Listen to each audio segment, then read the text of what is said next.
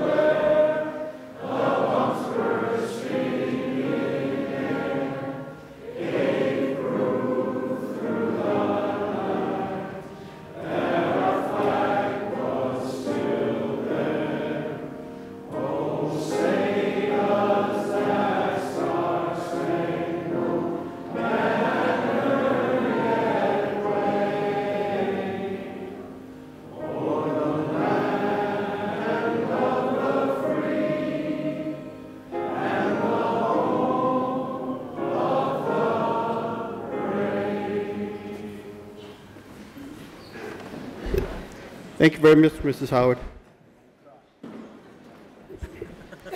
Welcome to the um, 2016 special town meeting. We have a short warrant tonight, about eight articles. Um, We're going to ask that we keep all our, any announcements or resolutions or anything else that's going to be announced today strictly confined to those eight articles, with the exception of one thing Mr. Greeley has. Um, I would like to take a moment to recognize quiet. Um, Roland Chaput passed away this past weekend. Roland was a longtime member, he's 44 years of town meeting member. Uh, he was a member of the redevelopment board, the conservation committee, the Friends of Robbins Farm, the Dallin Museum, the Tourist Council. He was on a lot of committees over the years, so I just want to take a moment of silence for Rolly.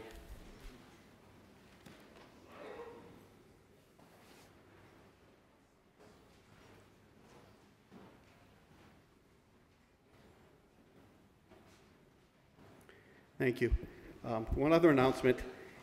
Elsie Fiore took a fall the other day. She broke her arm and her nose. So she's just out of rehab. So if you want to send her a note, um, if you're thinking about her, she's at 58 Mott Street in Arlington. You can find that on the, um, the website.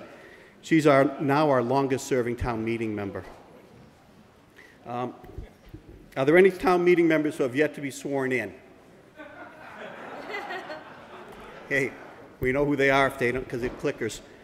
If not, um, I recognize the chairman of the Board of Selectmen, Mr. Greeley.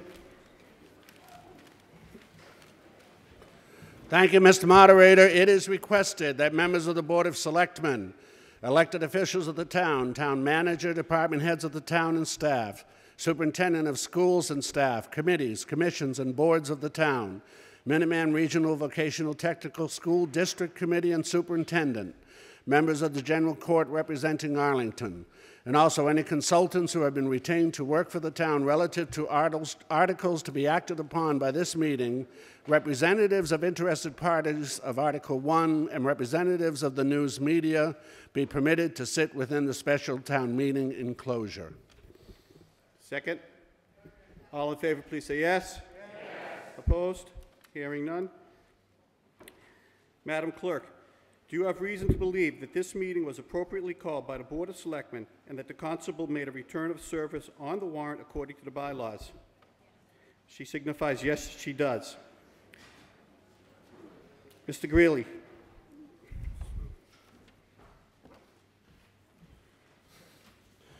Thank you, Mr. Moderator. It is moved that in the unfortunate circumstance, I'm sorry, that's not there, sir. It is moved that if all the business of the meeting as set forth in the warrant for the special town meeting is not disposed of at this session, when the meeting adjourns, it adjourns to Wednesday, January 27th at 8 p.m. all in favor, please say yes. Opposed? It's a vote, and I so declare it. Um, Couple of things. Put your cell phones on vibrate, please. And we're going to be using our clickers tonight. I know there's a few folks haven't checked in, but we have a test question.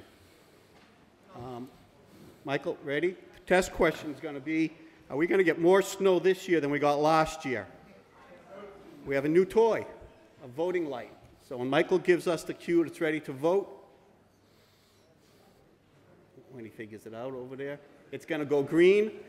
While the light's green, you can vote. So go ahead and vote.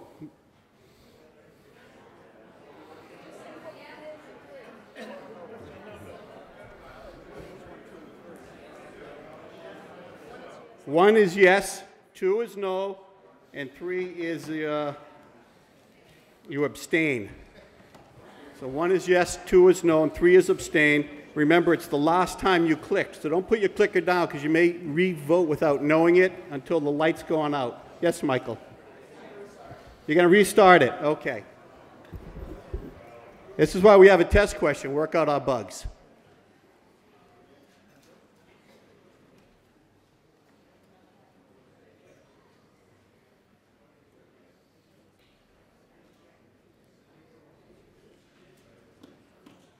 Have a green light.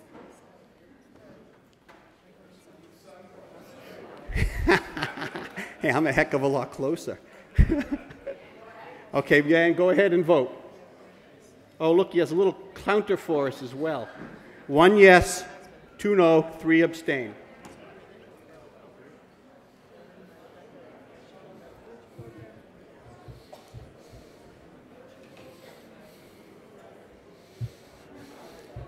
All right, so the time's up, but the machine's still counting. And we got a green light still, Michael. Oh. Oh, it's still counting. I guess it has to poll the room a few times and make sure it got all our votes. Ready? All right, so no. It, no's win. We're not going to get any more snow. And do the, do the thing. Make sure your vote came up right, please.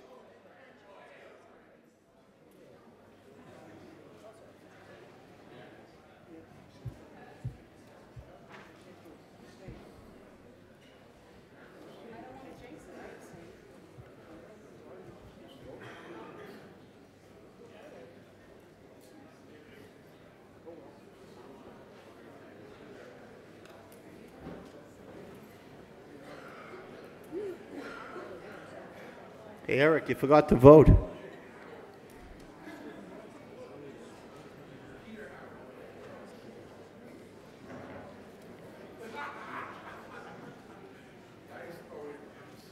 don't want to jinx anything. Okay. Um,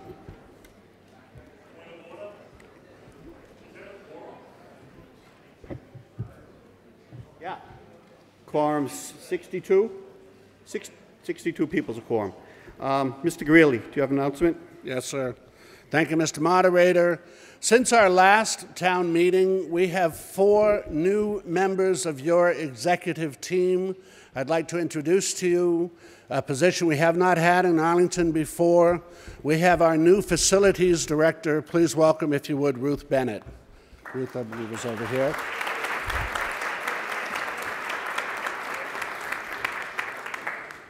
We lost Andrew Flanagan, our deputy town manager, to become the town manager in Andover. He's been replaced by our new deputy town manager, most recently from Amherst. Please welcome Mr. Sandy Pooler.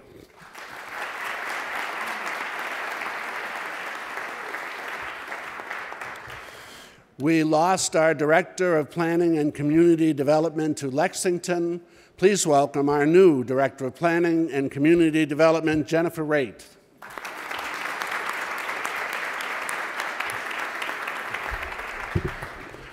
And we lost our comptroller to golf.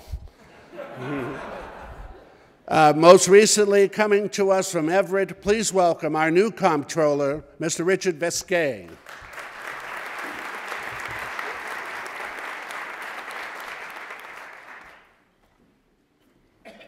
Welcome you all to the town of Arlington. Usually, new people get a pass on the town meeting. This is it, so be ready in May or April. Um, Any other announcements or resolutions? Seeing none. Um, Article 1, reports of commit- committees.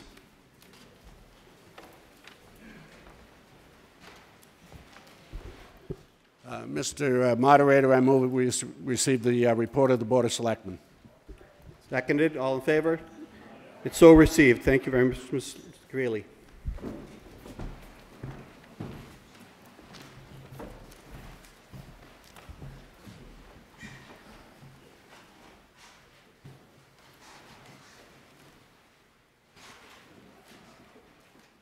Oh, Mr. Tosti, go ahead. I move that the report of the Finance Committee be received. All in favor? So received.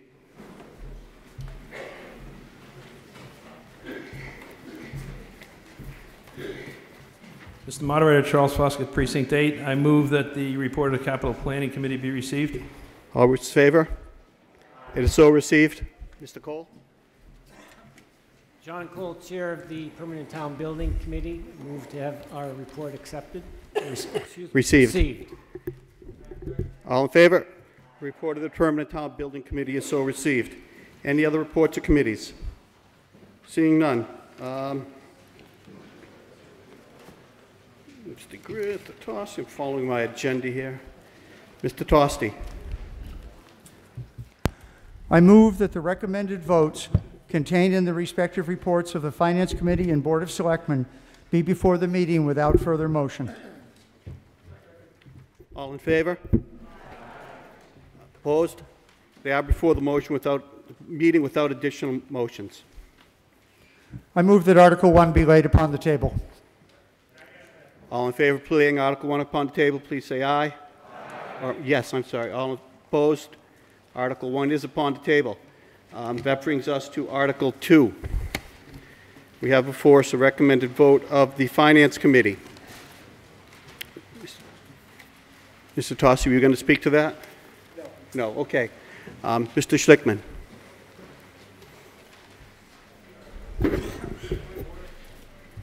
Yes, Mr. Foskett? Oh, I'm sorry, yes. Thank you very much. So, um, because Article 2 and 3 are very similar, we're going to have all discussions for Article 2 and 3 now, and that we're then going to have separate votes as in our booklets for Article 2 and 3. So just as a matter of convenience for everybody and not to have duplicate discussions and questions. So Article 2 and 3 are technically before us.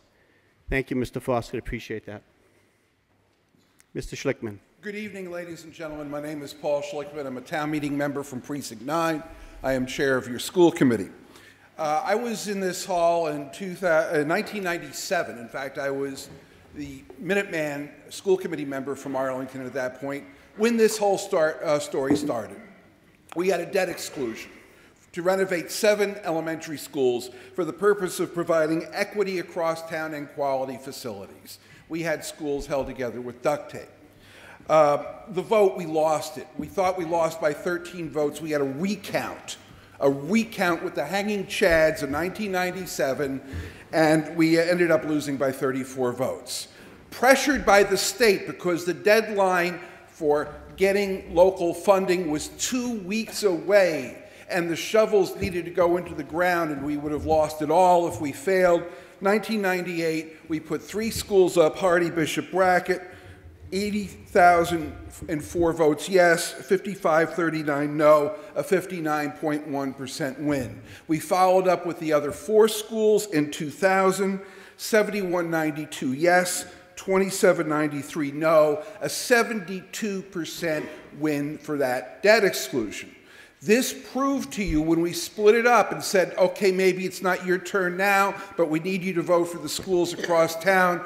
People said yes. And the people in the Stratton community consistently said yes for all the other schools. And they were hosts for the children who were moved out of the other schools.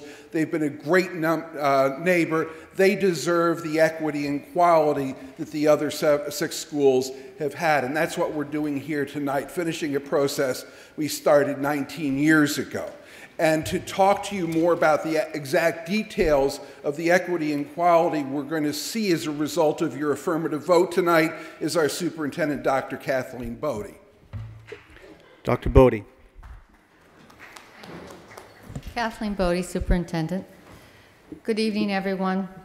I'm here this evening to ask for your approval for funding for the Stratton renovation project and for the modular classrooms needed to house the Stratton students during the 2016-17 school year.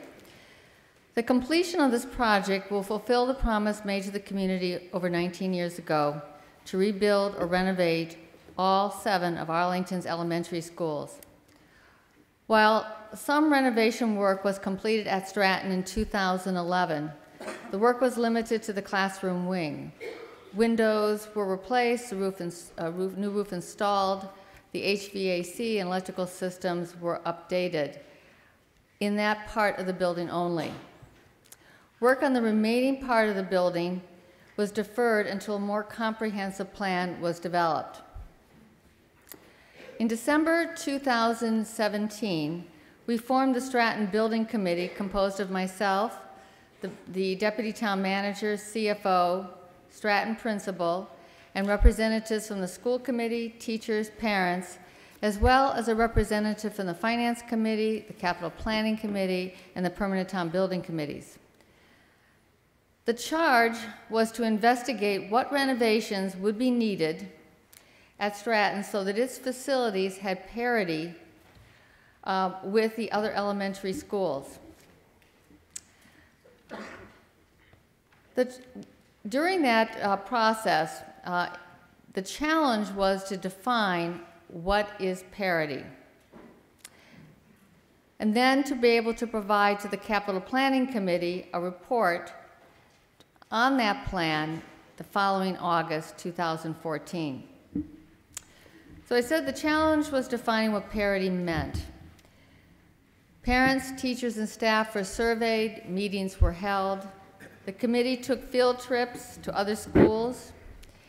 Data on rooms and comparison of facilities, both in square footage and um, types of room, were compared. We also reviewed the Inside Onsite report. Through this process, the committee was able to identify the key renovations and upgrades that were needed in order for Stratton to have facility parity with the other schools. The infrastructure that was not upgraded in 2011 needed upgrading, as well as there was a general im- improvement to the cosmetic appearance of, of most parts of the school. The kitchen needed to be remodeled so students were not being served lunch in the hall. The library needed expansion because it was about half the size it should be for the number of students in the school. And the nurse's office was deemed too small and needed to be expanded. The school also needed a conference room, which it did not have. The building committee hired, with the support of the town, town manager, and the capital planning committee, the architectural firm DRA to help develop plans and cost estimates. A plan was submitted to the capital planning committee that presented four scenarios with cost estimates for the scope of work needed to achieve parity. The scope of the work was planned out in timelines over 10 years, five years, three years, and 14 months. The longer the timeline to complete the project, the greater the cost. The Capital Planning Committee chose the shortest time frame. This option was desirable not only because it minimized costs, but it concentrated disruption in a shorter window of time. And probably most importantly, was giving Stratton community the renovated school it had waited a long time for. This scenario requires that we lease temporary modular classrooms for next school year so that we do not have the, because we do not have the room capacity in our other schools to accommodate all the Stratton students. Unlike how we were able to during the, the Thompson construction. On the screen, soon on the screen, um, you, you will be looking at the floor plan for the central part of Stratton that will be renovated. The key changes are the library will no longer be located in this part of the building in order to be able to expand the kitchen and serving area, as well as the nurse's suite, and also a space to provide a conference room. The teacher's workroom and cafeteria will still remain in this section. This part of the building also contains the uh, kindergarten rooms, so in addition to the infrastructure work there, they will be adding, they will be adding bathrooms to that part of the, of the building. Dr. Bodie, do you need more time? Just, just 30 seconds. Okay. I'll, I'll grant you the time because this is important. Thank you. And what you see here is the floor plan for the new library and uh, a rendition of what it will look like. For those of you that know the Stratton Building, you'll know that this was, it was the old gym that was at the far end of the classroom wing. I'll be happy to answer any questions, um, but, but in advance, I want to thank you for your support of this very important project. Thank you very much. Um, Mr. Cole? Going to grab a pointer over here and put up some new slides. Yeah.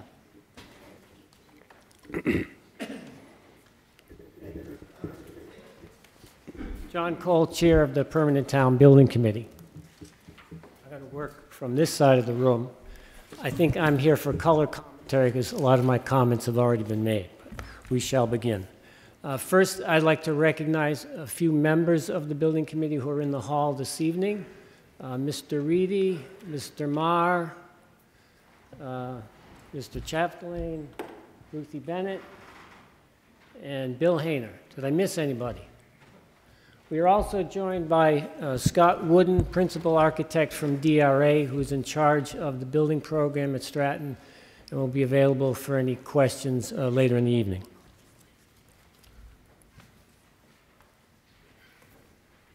Here we are at the Stratton School. The, um, oh, excuse me. Is there a microphone I can walk with? No. Okay, how about that? Go around to the other side of the podium. There you go. Quite as attractive. That's okay. They're looking at the screen, not you. Okay, how do I get this thing to go? There we go. Oh, whoa, whoa, whoa. All right, we're going to get there yet. So there we are at the Stratton School. On the right-hand side, this is the wing that was renovated in 2009 and 2011. I remind you that about a third of the cost of that was reimbursed by the state under the Green Schools Building Program, uh, which was set up to recharge the economy after the financial collapse in 2008. Um, This is the proposed floor plan of the renovation, which you saw from Superintendent Bodie. Now I'm giving you the color version of it. The main feature on this floor, the, the, the plan is too big to fit on one page, so that cut line is actually where the two halves connect. Um, Here are the renovated kindergarten rooms, cafeteria, gymnasium, the reconfigured food service area, admin, classroom block, music, and art. Lower level, as Dr. Bodie mentioned, has additional classrooms for the upper grades, and the crown jewel of the project is the new media center in the repurposed gymnasium. That's the plan. It's fairly simple. What is complicated are the logistics. Number one, as mentioned, we have no place to house the Stratton students during the construction period because the other district schools are near or at capacity. So we are proposing to lease modular units here, which would be plugged into the west end of the building. And during the construction period, we are proposing to use the gymnasium here and the cafetorium as an adjunct to the basic classroom modules. These are what the modular units look like. Um, They are, they will be designed and fabricated to the school department specifications and then leased for, by the town through the 2016-17 uh, school year. The schedule is where things get a little tricky. What we basically have to do here is align the town's funding cycle with the optimal construction sequence to get everything done within a compressed time frame of 14 months. That's basically why we have asked you to spend a night with us in a cold January to advance the funding so this project can start a little bit earlier. Let me explain. Whoops, go back one. We are here tonight, town meeting. We need to have fabrication of the modular units starting very soon so they can be on site in early May. That will allow them to become a warehouse over the summer to receive educational materials and reuse furniture from the existing school. At the same time, we are completing the development of the architectural plans for the renovation of the existing building. That will be bid next month. We'll have real numbers in March. That way, we can start the construction process Jan, uh, June 23rd, the day after school is out. Over the summer period, we need to complete the renovation of the cafeteria and the gymnasium so they can be part of the school for the next school year. And I need one more minute, if you please, Mr. Moderator. Yep, The budget is a little bit dark here, but I can go over it with you. I believe you have a copy in your handout. For the modular units, um, we have bids in hand. We are ready to sign a contract this week pending approval. The contract amount is a little over 3 million. We need about a million, uh, 100,000 in contingency for site work for a total of $3.1 million.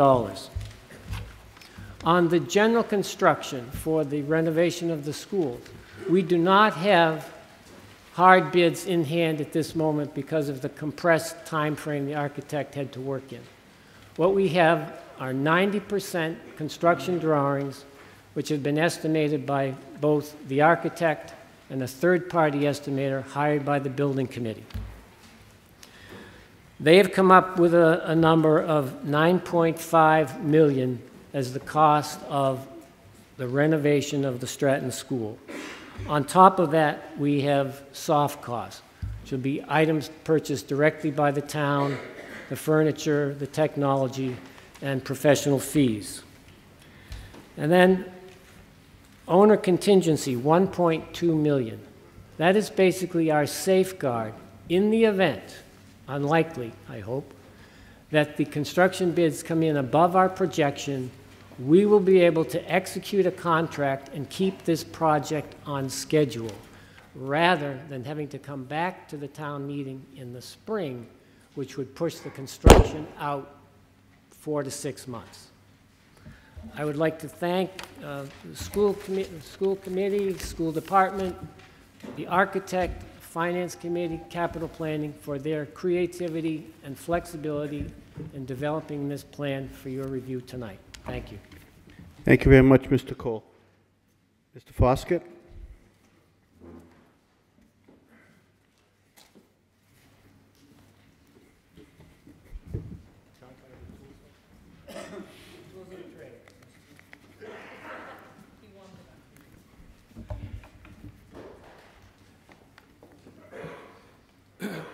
Ladies and gentlemen, uh, my name is Charlie Foskett, Precinct 8. Uh, Mr. Moderator? Sorry. Uh, Charlie Foskett, uh, Precinct 8, and uh, Chairman of the Capital Planning Committee. And um, we'll try to use this uh, to discuss some of these issues. So the first, uh, first point, I just wanted to outline the things that we'll talk about, uh, some of which you've heard from some of the speakers earlier.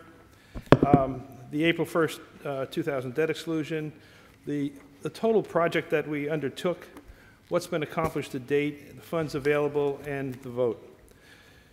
This is uh, just a summary of uh, what was explained to you by uh, Chairman Schlickman a little bit, a few, few moments ago, where the uh, 2000 debt exclusion for the four schools, Peirce, Dallin, Stratton, and Thompson, won by a 72% to 28% majority.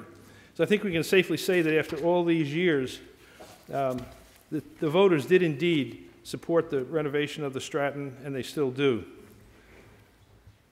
Uh, that's a little small to read, but let me just say that uh, one of the reasons why we're here 16 years later um, is, that, is that the uh, original state funding for the school program from the School Business, uh, uh, School Building Administration Board was frozen by Governor Romney during a fiscal crisis in the early 2000s. Then the uh, over budget and underwater SBAB was actually closed down and replaced by the MSBA, uh, the Massachusetts School Building Authority. And that created about a five year hiatus in our overall program. And when we finally got on to uh, seeking support from the MSBA, the MSBA declined to fund the Stratton. So um, all of the burden of, of the Stratton really uh, rests with Arlington taxpayers. This is a little schematic of the various, uh, the uh, seven schools that were uh, rebuilt over time and what they, what they cost. You can see graphically the Brackett was in the uh, $9 million range in, in 1998 and the Thompson was uh, just under 20 million in uh, 2013. And we're looking at a cost of about just under 16 million for the Stratton uh, in 2016.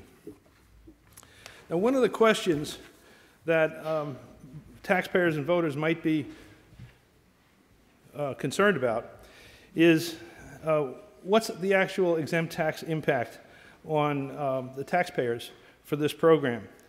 And on this chart, which is also, I believe, in the Capital uh, Planning Committee's report that's in your hands, you can see uh, using the uh, uh DOR inflation rate, the uh, original estimated cost of the four schools, the actual cost over time, and then the uh, construction cost in nominal dollars, and the actual construction cost discounted back in $2,000. So in the lower right-hand corner, that $42,643,000 means that the total expenditure exceeded the $34 million that was originally proposed by the school department. But this is, the question is what was actually the tax increase that the um, voters have faced over the years during this time? If we look at this uh, next slide, which is also uh, in your capital planning report, you see the proposal for how we're going to fund the 15,793 $15,793,000. And it comes from a combination of non-exempt capital budgeting, which is inside the limits of Proposition two and a half, some uh, savings from other capital projects, which would call a capital carry forward, for a total non-exempt contribution of $9,046,206. That leaves an exempt debt requirement of $6,746,794, which can be further reduced by a planned asset sale by the, uh, an asset sale planned by the town, which would reduce it by another million dollars. So what's the impact on the actual uh, exempt tax that the taxpayers are looking at compared to what they were told back in 2000? And that's in this chart, which is also uh, in your capital planning report. And basically, uh, on the screen behind me, the red line is the is the, uh, assuming the original reimbursements of 63% in the first two schools and uh, 50% in the second two schools, the total expenditures discounted back to $2,000 are shown by the red line. The blue dotted line shows what the actual expenditures, including the 15,973 for uh, Thompson, for Stratton uh, are. The reason why these two come out so close is because, first of all, the town is using non-exempt capital planning dollars to fund some of these school projects, especially the uh, Thompson and the Stratton. And secondly, in the case of the Thompson and in the case of the Stratton, the town has made the decision to dispose of some assets to help contribute towards the um, uh, payment for these funds. So we've used um, non-exempt borrowing and, the sales of assets to constrain the tax impact on the voters. So the planned impact from from uh, 16 years ago is very close to the actual impact. In fact, the, the actual impact is under the planned impa impact of 2000, uh, six, uh, 2016 years ago. So I think from the viewpoint of meeting the objectives uh, from the academic program to, to, to renovate all seven schools, and to meet the financial objectives set before the taxpayers, the commitment to the taxpayers was met. So we respectfully ask that, um, that you, you support Articles 2 and 3, which will complete the renovation uh, of the Stratton School, and will actually complete the renovation of the seven-school program that was started in uh, 1998, as Paul Schlichtman uh, reported to you. So we, we uh, ask you to support the recommendation of the Finance Committee on Articles 2 and 3. Thank you. Thank you very much, Mr. Foskett. Ms. LaCourt?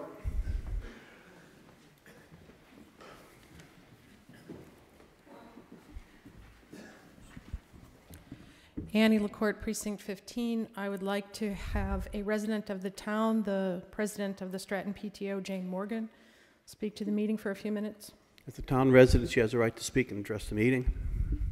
Ms. Morgan? She should come forward. She's coming.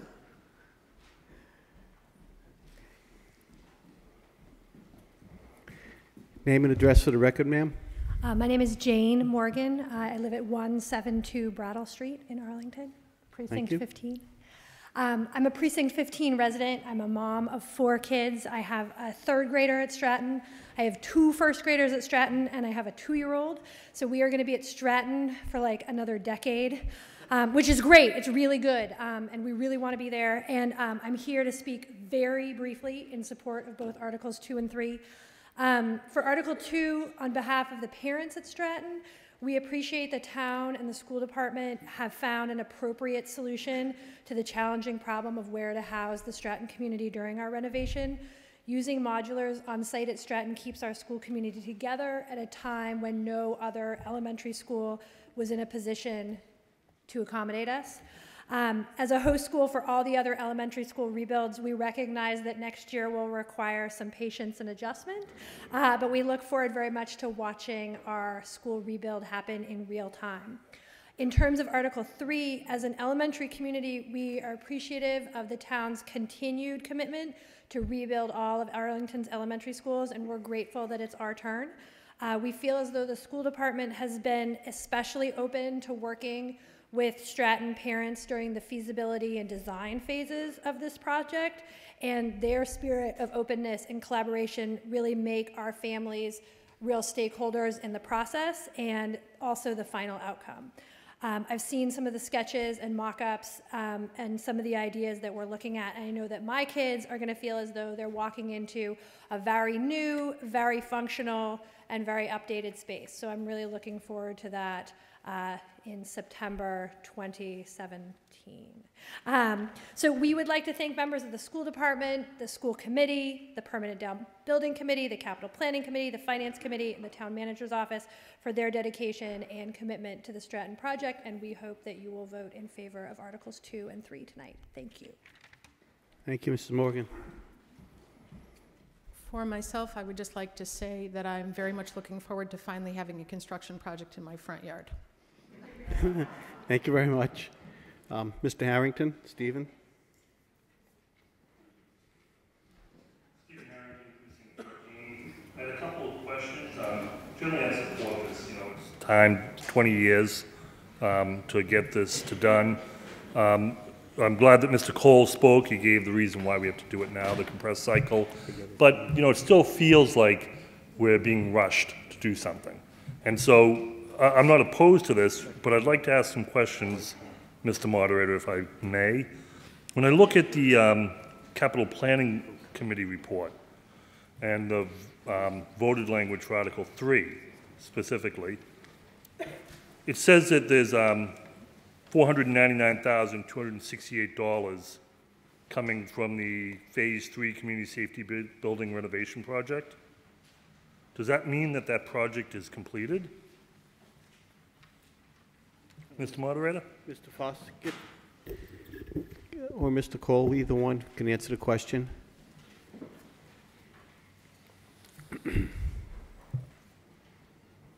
John Cole, Permanent Town Building Committee. Uh, The final phase of the community safety building is nearing completion. We expect it to be done in August or September. Uh, The project is going along very well, contrary to prior phases, which were total nightmares.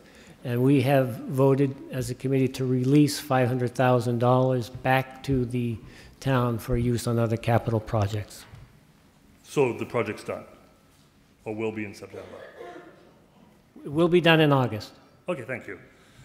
Um, the second question I had, we saw uh, Mr. Foskett show us, you know, sort of the, the, um, uh, if you look at your capital planning report on page three, you'll see that, you know, there's $42 million have been spent in actual construction costs in $2,000 uh, versus 34 million for project value. You know, that all depended on what rate of inflation you use. And um, I'll draw your attention to like 2004 through 2008, where the rate of inflation was 5, 6%. And you know, there's a footnote that says how it's supposed to be calculated, and it's the CPIU for Boston, Brockton, and Nashua, and um, those aren't the numbers. Um, it, when you use the numbers from the CPIU, it comes out to $46 million. So the difference from 34 that the voters approved and the actual expenses today of 46 million isn't quite as um, compelling that somehow the voters agreed to overspend it by, you know, more than 35 percent. Finally, I'd like to make one more point. In the um, uh, non-exempt monies that were transferred over in Mr. Foskett's uh, presentation, he had a million dollars for a uh, sale of a building. Uh, that building is a former DAV uh, up on Mass Ave, up near the, um, um, there's some tire place up there. And um, that building's assessed for 300000 a little more than $300,000. And so it's quite generous to say, oh, there's a million dollars that were taken off from the sale of a building so that we somehow fit in under the, the cap that the voters approved back in the year 2000, the 34 million. In fact, um, it's nowhere near a million dollars. It's more like 340,000. It's a dump. Um, so uh, I'm sure that that million is overly optimistic. Um, so given the rate of inflation change and the over optimistic, it looks to me like we're actually not doing what the voters approved in 2000. Um, so uh, be that as it may, I'll still uh, vote to support this. Thank you. Thank you very much. Um, Mr. Jameson?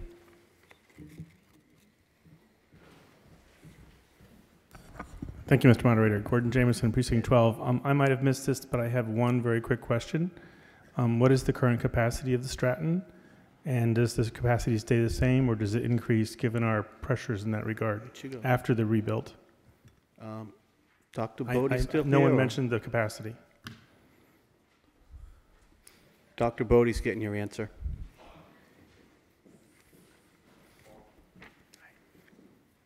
Kathleen Bodie, Superintendent. We have about a little over 400, 412 students. Um, When Stratton is completed, we we have three classrooms that could be repurposed, and the same thing will be true after the renovation. Uh, With the projection that we have from December from Dr. McKibben's numbers, Stratton is only going to change slightly in enrollment, maybe in the neighborhood of 20 to 30 students, perhaps tops. But in, in the new configuration, there's some swing space as required. The rooms that could be converted, you mentioned, that would be There'll be swings. three classrooms, they will be used, but they could Yeah. be converted to- to additional classroom space, yes. Okay, and they'd be used for art or music now, or just? We will have an art and music room. The goal in all of our schools is to keep a Yeah. dedicated art and music room. Okay, I just, did- I just didn't understand what the, what the, what the stated capacity of the building is versus um, now versus the future versus the current number of students. Capacity is a, uh, it's, it's, it's, a- it's sort of a tough way to look at the, the building because sometimes um, you can have classes that are very small numbers. We have, a- we have three supported learning centers up there with, with um, smaller class size numbers than you might have in a general ed classroom. Gentleman over here stood up. The, the gentleman Mr. over here is the principal of Stratton Oh, School. I per- mean, to- Do you have additional information that'll help Mr. All right. Jameson? Perhaps he might be able to enlighten us further. Thank you, all right, Dr. Bodie. Mr. Hanna? Dr. Bodie, thank you. Uh, Thank you, Mr. Moderator. Michael Hanna, I'm principal at Stratton School. Uh, Right now, those classrooms, uh, or or could be classrooms, are being used for other programming. Um, right now, one of them is being used for teaching non-native English-speaking students. It's an entire classroom. We probably wouldn't need an entire classroom for that, so that's why it's a swing space. Another is an administrative uh, suite for uh, special education, which again can be contracted into some other environment. And then uh, finally, the third one is a uh, classroom, but as Dr. Bodie mentioned, it's currently servicing a special education population, which, if, again, if pressed, we could contract into another special education classroom. So as the principal, you feel comfortable that after the rebuild, given the projections, you'll be in good shape as far as space? Very. Thank you. Yeah. Thank you. Mr. Paluso?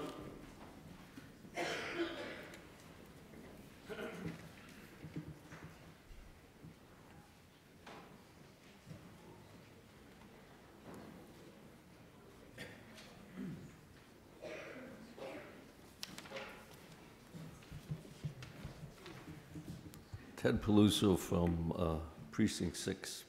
Uh, I like to keep things simple. Uh, When you have a school committee, a finance committee, a capital planning committee, a town building committee, a paid architect, I assume that's who that fellow was, right? And you have people who say, this is what we need, right? Now, we can spend a lot of time because I guess everybody in this room has an engineering degree. And I'm sure everybody in this room are architects as well. And I do understand that it is our job to look at the cost of everything and the whole bit. But it does come down to something simple. Let's do it right. That's all. Either yes or no, but do it right. Thank you, Mr. Paluso. Mr. McCabe? Mark?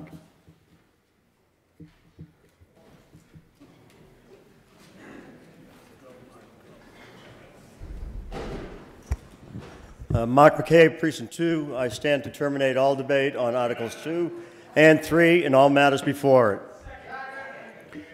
Okay, we have a motion to terminate debate on Articles 2 and 3. We're going to take a vote on that article as soon as Michael's ready. It's two-third vote, one yes, two no. Um, Michael McCabe, who just spoke? Ready? Vote. Um, One yes, two no. This is to terminate debate on Articles 2 and 3.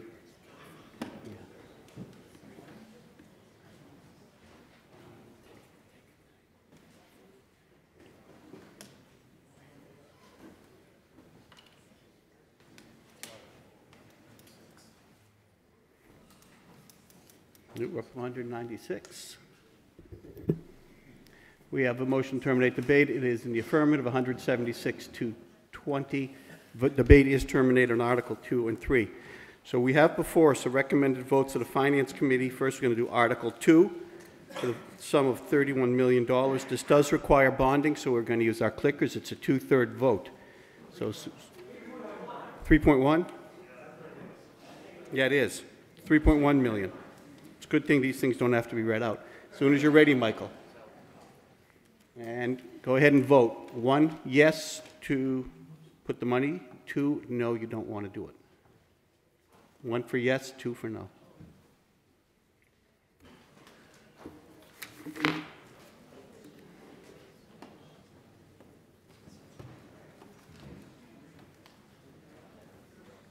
Okay, time's up. Is an affirmative vote, 194 in the positive, four in the negative. That's a pretty overwhelming vote, folks. Thank you very much. Okay, we have before us,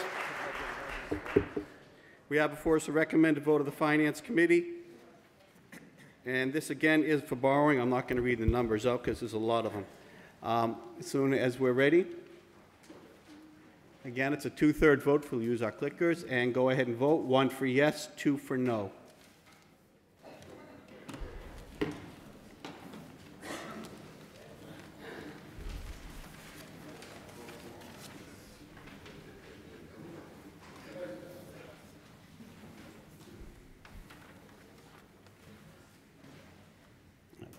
Okay, time's up. 199 in the affirmative, zero. So It's a unanimous.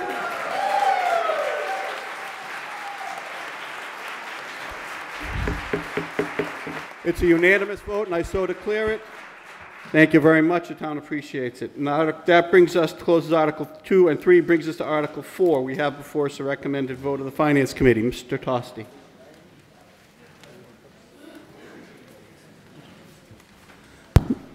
Mr. Moderator, uh, respectfully request to the town meeting uh, for 10 minutes for myself and for the town manager. In other words, total. Um, Mr. Tosti has requested 10 minutes. All in favor, please say yes. Yes. Opposed? You have your 10 minutes, Mr. Tosti. Okay, actually, I'm going to take one minute, and the manager will take the rest. Um, Town manager will follow me as chairman of the enrollment task force uh, to explain what the group has done to date and the topics going forward. I will explain why the vote is worded the way it is. Um, Before the vote, before the bids came in on the Stratton modulars, we had planned to use funds remaining uh, from the police station project uh, to be transferred to the capital budget for this purpose, for the uh, uh, Thompson modulars. But when the bids came in so far over the estimates, all of the remaining monies in the capital budget uh, had to be used for the Stratton School. I mean, we, we, uh, we had to fund it, we had to keep going, uh, and so we basically uh, stripped out all the, all the remaining accounts. Uh, so there was no, no money left in the capital budget. Since the tax rate has been set, decision uh, was made, or the to make a recommendation to utilize the town's reserve fund, uh, which had been built up uh, a little bit higher each year over the years uh, to an amount that could take care of this to get the project going. But since the article was already before the town meeting in the warrant, the Finance Committee felt it was inappropriate to not ask the town meeting for their opinion. So that is the purpose of this vote. It's a resolution uh, for you uh, to see if you will support this. If you vote no, the Finance Committee will not vote to transfer the money for the modulars for the Thompson. If you vote yes, we will proceed to get this project moving as soon as possible. Uh, I'd like to ask the town manager uh, to give the background on the uh, enrollment task force and what's happened to date. Thank you.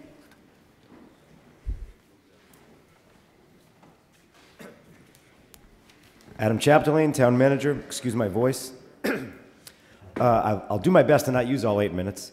Uh, so, building on what Chairman Tosti just uh, spoke about, um, going back into the fall, uh, or actually back into the summer, uh, after looking at there being several years of enrollment growth within the school district, the school department decided that it was uh, very appropriate to perform a demographic study to analyze the growth and provide a future looking forecast in terms of the enrollment and, and what it would look like over the course of the next decade. So that forecast was produced by Dr. McKibben, and some of you may have came to the public meeting that the school committee held where that forecast was discussed in detail. And initially, that forecast predicted the growth of approximately 1,000 students over the next 10 years in the Arlington School District. Uh, since the original release, when we got actual numbers on October 1 of this past fall, uh, that number has been uh, modified by, uh, by, Dr. McKibben and reduced to approximately 700 students uh, to grow over the next um, 10 years. So, this forecast prompted the superintendent and I, uh, after consultation with both the Board of Selectmen and the school committee, to call together a task force that we named the School Enrollment Task Force to study and address the capacity issues that this forecasted growth would cause uh, in terms of space in our actual school buildings. This task force was made up of myself, the superintendent, three members of the school committee, two members of the Board of Selectmen, the chairman of the Finance Committee, chairman of the Capital Planning Committee, and the chairman of the Permanent Town Building Committee. We met uh, a number of times over uh, the course of late 2015, and we've met once in 2016. And thus far, there's been a few key agreements that led to this recommendation or resolution here tonight. Uh, that agreement that was unanimously decided by the task force was to go forward um, and identify the need for two modular classrooms at the Thompson School next year to address capacity issues. And also, there was a more uh, conceptual agreement about the need to address specific, uh, excuse me, space issues at the Ottoson Middle School based on forecasts. A few other areas that we're going to continue to look at, uh, beginning at our next meeting scheduled currently for February 23rd, uh, will be looking at potential classroom and shared space expansion, uh, permanent expansion at the Thompson School, and also the need to process and decide on what the proper course of action is at the Ottoson Middle School, whether it be on site or at another site in town. So we have a lot of work to do over the course of the rest of this winter and spring leading up to town meeting. And what the hope is that we'll have, at the very least, a report, but most likely recommendations for this town meeting to consider uh, at the spring for further addressing of these uh, space needs that our enrollment growth is causing. And happy to answer any questions. Thank you. Thank you. Uh, Mr. James. Um, Stephen Harrington?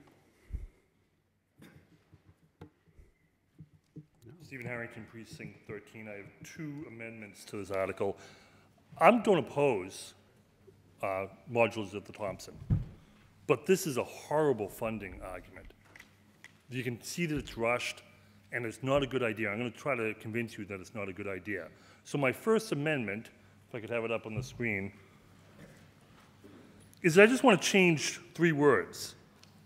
From the town's reserve fund to the town's capital budget.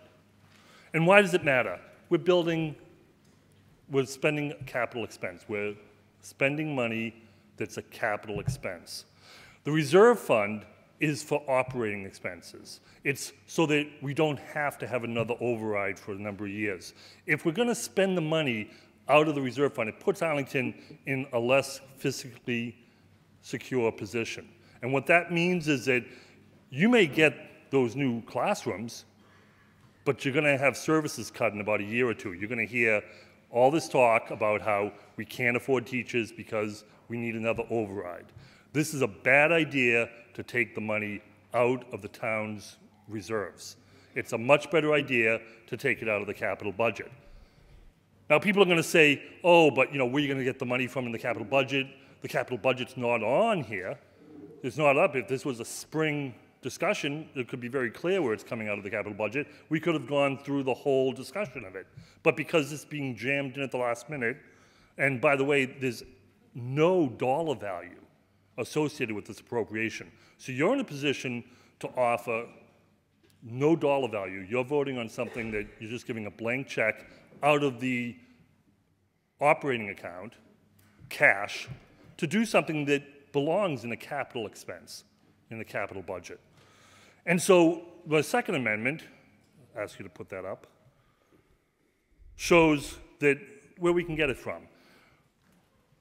We can easily get this from using Community Preservation Act money in a very good way.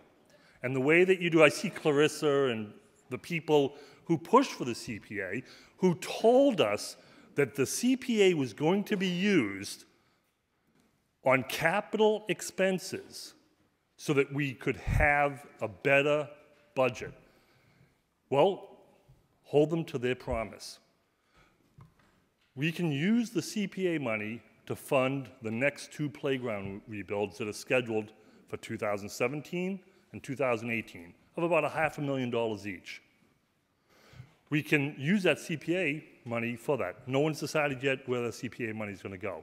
We can then buy those modulars rent them through the capital budget. No extra cost keeps Arlington on a good financial footing. This article does not put us on a good financial footing. And it really comes down to, you know, a question of values for Ms. Rowe and the people who supported the CPA, whether you really want to support education in the town or spend it on things like a swamp in East Arlington. And that's really for you people up there too. You're all East Arlington residents. Whether you want to educate your kids or dump it into a hole in the ground, really is your choice. But by passing it as it stands, you're going to put Arlington in a bad position. And there's already rumors of an override. When the talk starts to happen, believe me, services are going to be cut, and they'll be cut in the schools, and you might have modular classrooms, but you won't have the teachers to fill them. So I urge you to vote yes on amendment that will change it to the capital budget, and yes to use the CPA funds to keep Arlington on a good financial footing. Thank you. Okay, we have two am- amendments on the table. His first one is the Town Reserve Fund. Do I have a second on that? It's been seconded. He has a second amend- amendment on um, the use of the CPA money. Do we have a second on that? Okay, they've both been seconded. They are before us. Um, Mr. Carman?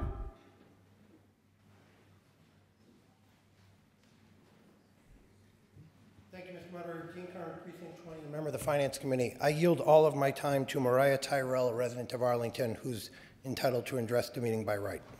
Yes, she is. Name and precinct and address for the record, please. Uh, Good evening. My name is Mariah Terrell. Live at Precinct 7 at 87 Harlow Street. I currently have three children at the Thompson Elementary School, a fifth grader, a third grader, a kindergarten, and a kindergartner, as well as a three-year-old that will enter in the fall of 2018. Yes, I am one of the main reasons that the town of Arlington is facing these enrollment challenges. I stand before you tonight in support of the Finance Committee's recommendation to add two temporary classrooms at Thompson for next year because they are desperately needed. I am hoping that the slides I am about to show you will demonstrate the urgency of this need. At the same time, I stand in disagreement with the School Enrollment Task Force's decision to not recommend additional measures at this time, specifically the appropriation of money for architectural plans and designs for a permanent addition. The enrollment challenges at Thompson and in East Arlington in particular are just beginning. We have a long road ahead of us. The children on this slide are my own William, Caroline, Lucy, and Peter. Since they are situated within the time frame of the school's projected growth, I thought I would use them tonight to show you how the enrollment challenges are affecting them and all of their fellow classmates. Next slide, please. This is my oldest son, William, and his friend Dylan, who are in fifth grade this year. They attended kindergarten at the old Thompson School building, spent two years at the Stratton School during the rebuild, and came back to the brand new school for third grade. Their class sizes have been creeping up every year since coming back to the new school, and now William is in a class of 30 and Dylan 29. These boys have more students in their classes than any other elementary class across the district, and this was because there was not another classroom available for a third section, that is, a third class for the fifth graders. The Thompson School, with 19 classrooms, is over its capacity by one, and thus, on a daily basis, these fifth graders have less face time with their teacher than any other elementary school student. Next slide, please. Most of you here in the room tonight have probably heard about what is referred to as the McKibben Report, which projects the enrollment growth in all of our schools for the next 10 years. Here is a graph that shows the growth at the Thompson School based on McKibben's projections. The blue arched line demonstrates how our enrollment will grow over the next 10 years. The orange straight line on the bottom demonstrates what the school was built for 380 students. As you can see, the Thompson School is just beginning its climb. The red star on the chart shows that our current enrollment is 435 students. This star is actually above McKibben's newest projections, which were just released in December, thus indicating that his projections for our growth may actually be too low. It's also important to note that since school started in September, our enrollment has grown by 10 students. While it looks like the graph starts to drop off after the 10 year period, in fact, the projections state that 480 students is where the school will level out. This is 100 students higher than the building's capacity. Next slide, please. This next picture is my daughter, Caroline. She is currently in third grade. Next year, when the two fifth grades leave Thompson and the projected number of four kindergarten classes come in, the school will be two classrooms too small. If portable classrooms are not approved for the Thompson School tonight, Caroline's class could be chosen as the class to be blended, which means her four current ses- sections could become three, and her class would likely have 27 or more kids in it. If portable classes are not approved tonight, it also means that the art room will be turned into a classroom. If the art room is taken away, the art teachers will visit each room with their supplies on a cart, and the Thompson School will be the only school in the district without a dedicated art room. It will be very hard for the students to be able to complete the level and kinds of projects they currently do, such as Caroline's painting in this photo. It would be a huge detriment to all of the students in the school to lose such a valuable, enriching space. As I stated at the beginning, I fully support the recommendation by the Finance Committee to fund two modular classrooms for next fall, as I do not want to see Caroline and her fellow students at the Thompson School miss out on valuable educational milestones that will be lost in overcrowded classrooms. Next slide, please. But I also have two other children that you see here in this slide. Lucy is currently in kindergarten at the Thompson School, and if a plan for permanent construction is not in place and executed for the fall of 2018, she is projected to experience class sizes of 27 or more students by the time she is in second grade. Next slide, please. By the time Lucy is in second grade, there are projected to be 482 students in the school that was built for 380, and class sizes for every grade will be large. By the time Peter is in third grade, the enrollment will have reached its peak of 500 students. With smaller class sizes, teachers can get to know their students better and thus ensure that each student receives appropriate instruction based on their styles and needs. This is especially true for students from low income families and for English language learners. The Thompson School and the Hardy School both have the highest number of students in both of these categories than any other school in the district. That is why it is especially critical that our school has the space that it needs. So please vote yes tonight on this article to provide a one year band aid at the Thompson, but know that this will not solve the problem long term and that additional steps will soon need to be taken. William, Caroline, Lucy, Peter, and all of their classmates and future classmates, thank you. Thank you very much. Mr. Rell. Mr. Liggett? Stephen Liggett? Well, he had his hand up. Don't know where he went.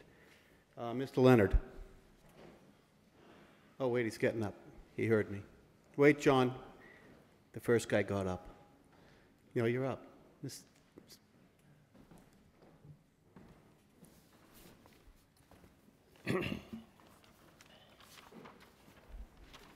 Thank you, Mr. Moderator. Uh, Steve Liggett, Precinct 9. Excellent. Good evening. I am the proud parent of two children in the Arlington Public Schools, a third grader at Thompson and a sixth grader at Ottoson. I stand before you tonight in support of Article 4, which will provide critically needed classroom space at the Thompson Elementary next year.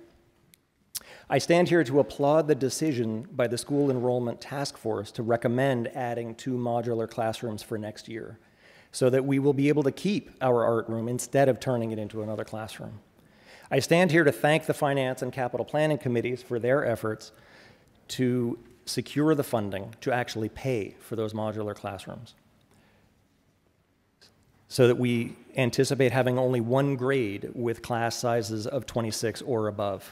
It would be far worse if we didn't have the modulars. I stand here to express my gratitude for the support shown by the school committee, the facilities subcommittee, and Dr. Bodie as they explored alternatives and proposed solutions. I also stand here to say that two modulars at Thompson is not enough. Next slide, please.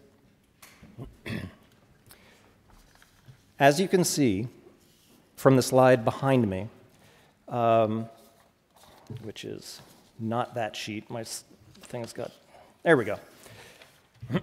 the chart behind me is showing the revised enrollment projections commissioned by the town last month, the McKibben report, for only Thompson. Since that report, as Mariah mentioned, is actually too low, I updated the numbers to use the current enrollment of 435 students instead of the projected enrollment of 425. The numbers on the chart show how many students above or below the number the school was actually intended to have. So the zero line represents the as-built capacity. Above that, uh, which is where the line is very clearly, is showing that we have more kids and additional uh, crowding.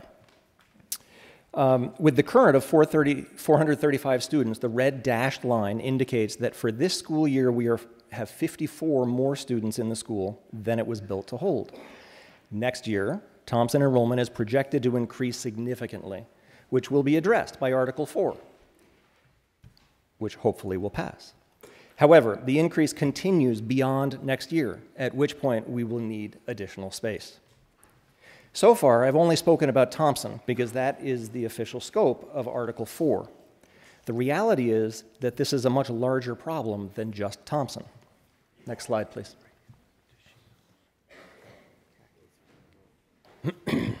Here you can see that the enroll- enrollment at the other elementary schools, which is the target of this slide, uh, is also above capacity in many schools. The enrollment at Bishop, the yellow line, is significantly above the capacity it was built for. It isn't projected to increase at as dramatic a rate as the Thompson, but they are already crowded and it will increase. Hardy, the dotted red line, will see increases similar to that of Thompson and face the same challenges, trailing one to two years behind. And that does not include the potential impact of the Mugar property should that pro- project move forward. Next slide, please. Voting yes for Article 4, which I strongly urge all of you to do, is one simple step we can take tonight to reduce the overcrowding at Thompson for next year. But the growth in the school enrollment is a town-wide challenge, and we clearly have a lot more work ahead of us to meet those challenges. To that end, I will be submitting this exact article for our spring town meeting so that this body will have an opportunity to continue this dialogue. It is not clear today exactly what the best options are or the best combination of options are to address the enrollment challenges we face. There are many opinions and not nearly enough facts at this point to decide which options are the best to address both the short term and the strategic needs of our community, to determine which options best align with the values that we espouse for educating our children. Between now and April, we need to figure out which of these options, those that you see above or something else, are the appropriate ones that we want to recommend to move forward. In April, this body will have an opportunity to approve the next steps. Final slide, please. This final slide includes the enrollment projections for the Ottoson Middle School. I think this is a case where a picture truly is worth a thousand words. I look forward to working with many, many of you in the coming weeks, and I imagine I'll be standing before you once again in April. Thank you. Thank you, Mr. Liggett. Mr. Leonard?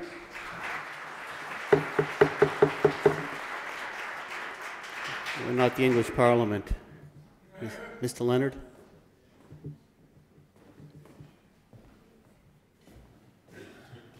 Thank you, Mr. Moderator. John Leonard, Precinct 17.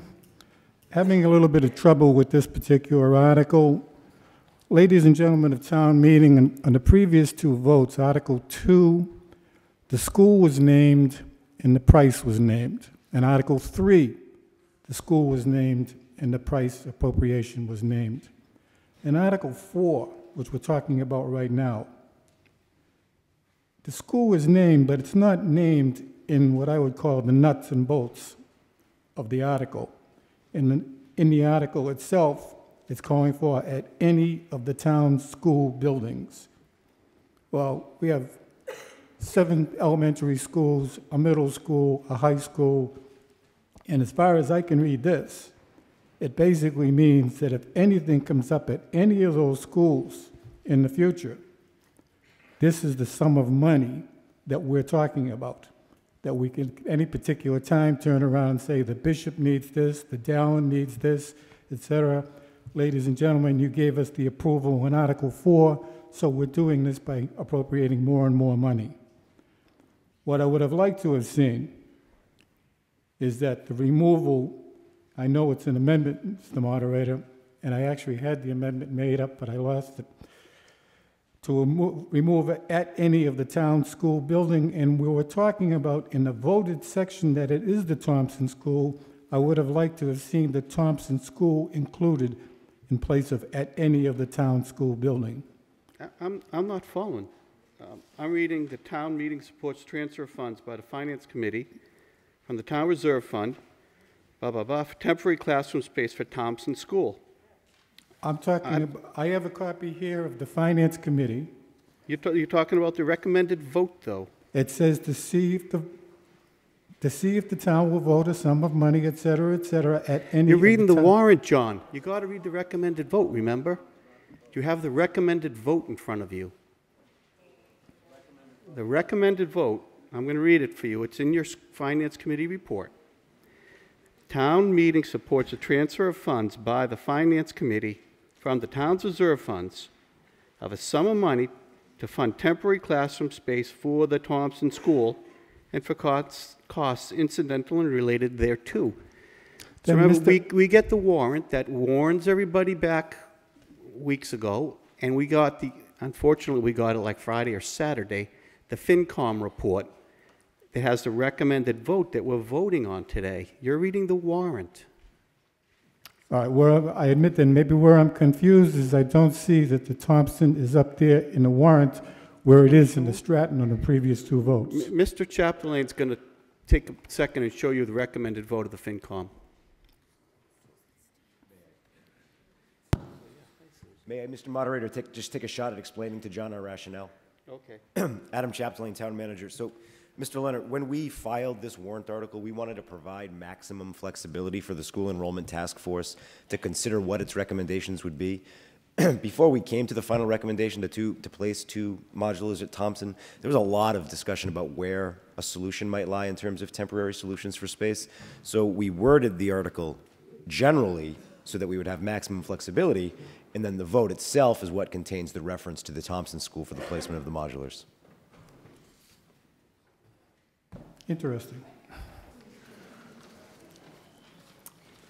Does that clarify it, John? It clarifies it a little bit, Mr. Moderator. Okay. Uh, Well, again, I support uh, Mr. Harrington's two amendments.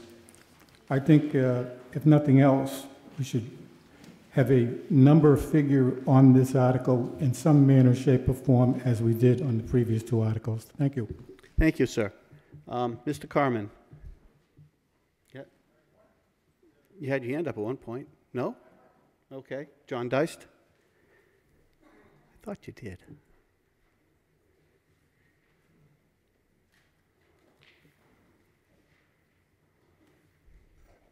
John Deyst, Precinct 13, and a member of the Finance Committee.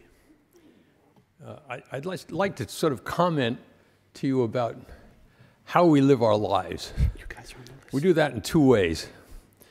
There's a long-term planning. For example, at the end of this meeting, I plan to drive home and go to bed.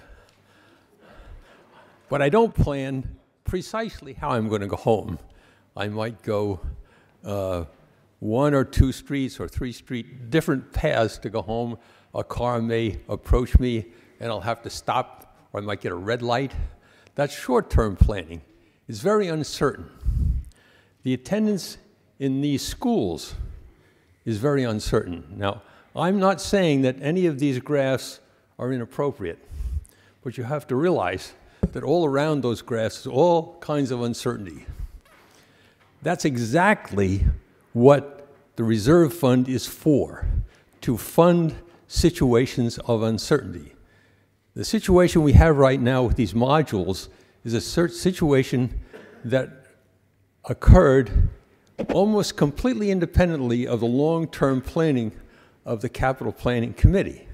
The Capital Planning Committee projects and very in a, and in a very orderly fashion recommends funding for us, and then we vote the money to do the, the things that, generally speaking, that the planning, the capital planning committee has recommended to us. I can't think of a time in the past 20 years or so when we didn't pretty much vote the capital plan as it was put forward to us. But it's a plan that's based on long-term projections, and they cannot handle uncertainties. That's exactly what the reserve fund is for, to handle the uncertainties that arise as a result of something like what just happened at the Thompson School. Thank you very much. Thank you, sir. Mr. Harris?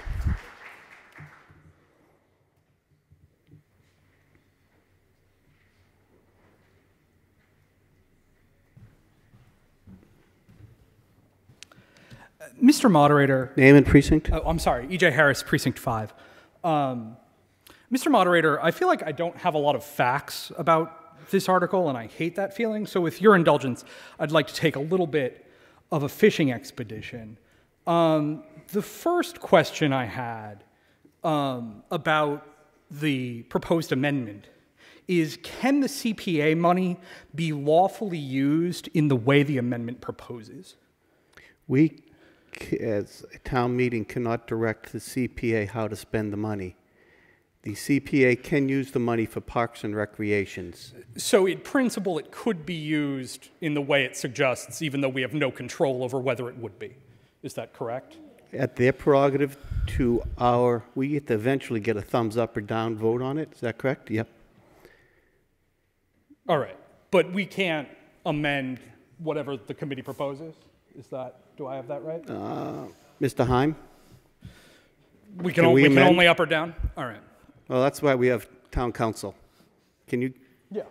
I'd, I'd love to hear from a lawyer. Good evening, Doug Heim, Town Counsel. So the Community Preservation Committee will be the one basically vetting proposals for use of CPA funds. If um, the, the town meeting essentially votes to approve or not approve those monies, if the town meeting doesn't approve, doesn't vote to approve it, the money stays in the CPA fund. Um, can anybody ballpark how much money we're talking about? A little bit? And Mr. Chapdelaine, can- Kinda? Something?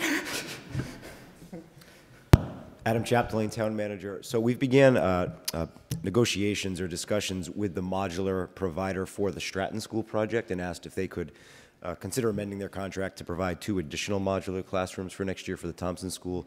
And the range we've looked at is somewhere between 200 and 250,000 for two classrooms. All right, excellent. Um, how much is in the reserve fund? Ish, again? Mr. Foskett? Oh, no, excuse me, Mr. Tosti has an answer. $1 million.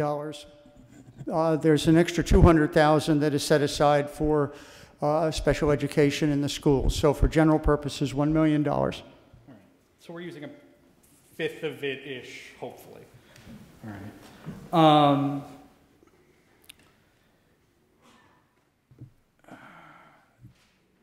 can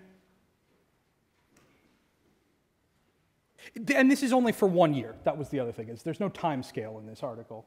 Do we anticipate this being like one the- year rental? What we are discussing right now is only for the next school year. Is that correct? And like Yeah, the go ahead, Adam. enrollment Mr. task force plans to give us a longer term proposal in the spring. Adam Chapdelaine, Town Manager. Uh, So we, the, the quote I mentioned would be based on a one-year lease. We are going to get some additional quotes in terms of whether or not we might purchase these for future needs, lease them on a longer-term basis and see whether or not it makes it more cost competitive. But ultimately, one of the considerations that the task force will be looking at is permanent construction at the Thompson, and that would make these modulars not needed at that facility. And Mr. Moderator, it, would it be the committee's, you might want to stay, would it be the committee's hope, I apologize, would it be the committee's hope uh, to be able to report more fully on those questions uh, at the regular town meeting in the spring? All right. Um, I think that's quite enough fish for now. Um, the book of Revelation warns us of uh, wars and rumors of wars. I feel the municipal version is overrides and rumors of overrides. Um, I definitely feel the level of trepidation that I feel when I read the book of Revelation, but I think I'm going to end up supporting this article. Um, Mr. Foskett, you had your hand up?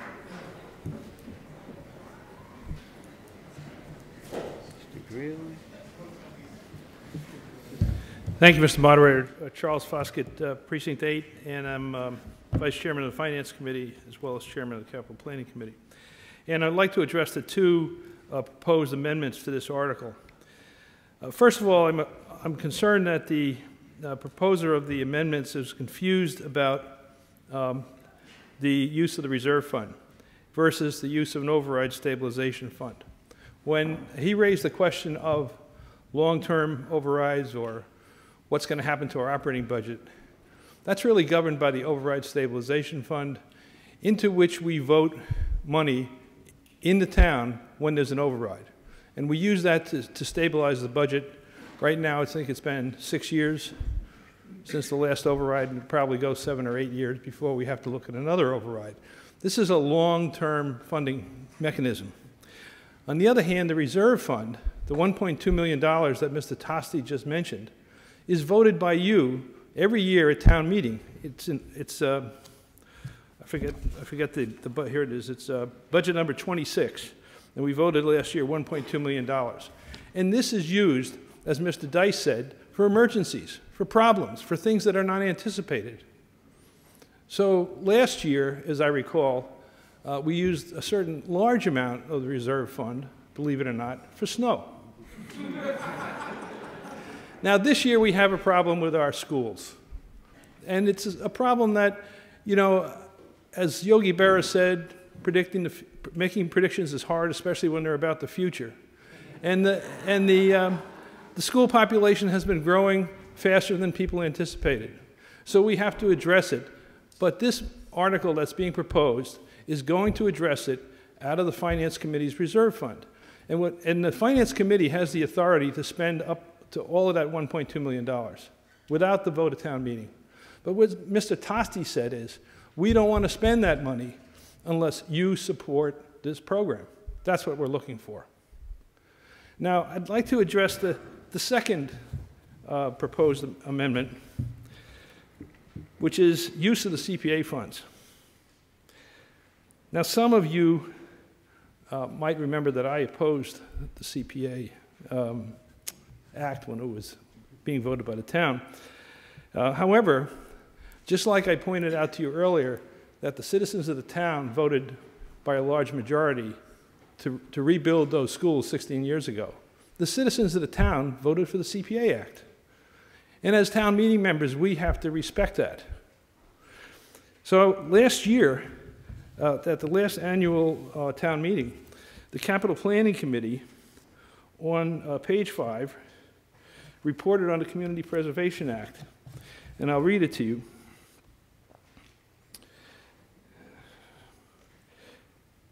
The current capital plan has segregated most such eligible expenditures, that is, CPA eligible expenditures, into a funding category of quote unquote CPA. You may remember we have bond, cash, other. Now we have bond, cash, other, and CPA.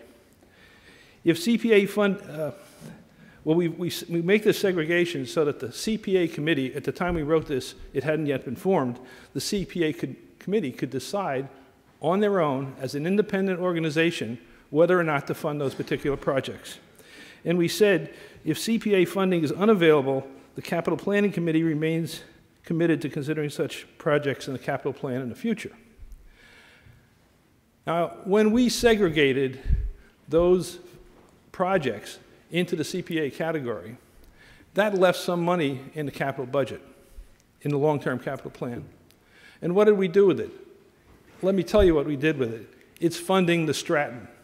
You voted for it tonight with the, uh, in, in, in Articles 2 and 3. The non exempt expenses that you voted for tonight were freed up by the CPA vote of last year. And this will be reflected in the five year capital plan that you will see at the annual town meeting. So, what I'm trying to tell you is that, first of all, the use of the reserve fund that Mr. Tosti has proposed is perfectly legitimate, rational, and in fact should be done. And secondly, it's both unreasonable from a governance viewpoint for us to demand that the uh, CPA committee spend money on recreation. And secondly, even if we demanded it, the money in the capital budget has already been put into the Stratton School. Thank you. Thank you, sir. All right, it's 9:30. We're going to take a short seven-minute break. We come back, Mr. Auster will have the floor.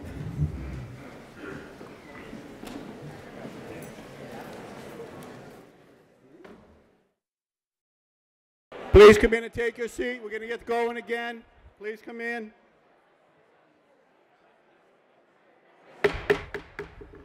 Let's go. Mr. Tremblay, you can take your coat off and stay a few minutes. Yeah, sit down, have a seat, take your coat off, make yourself at home. Mr. Auster has the floor. Please come in and be quiet.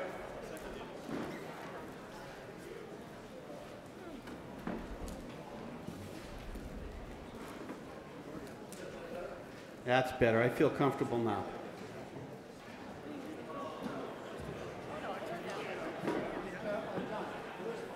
Adam Auster. Adam, you're up. You had your hand up, right? Did you have your hand up? Yeah, you're up. No, you are. Uh, Mr. Moderator, Adam Auster, Precinct 3, and I move to end debate and vote immediately on everything before us. On all, on all matters On before all the motion? On all matters before us under the article. Oh, okay.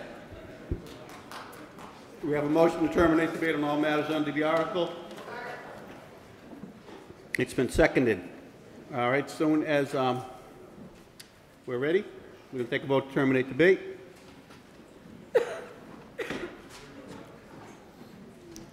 All in favor of terminating debate, press one for yes, no for you do not want to terminate debate. One for yes, two for no. Two-third vote required.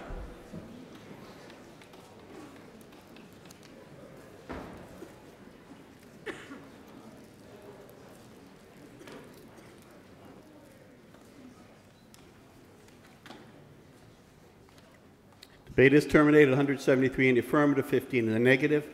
Debate's terminated. That brings us to the actual votes. So we're going to proceed as follows.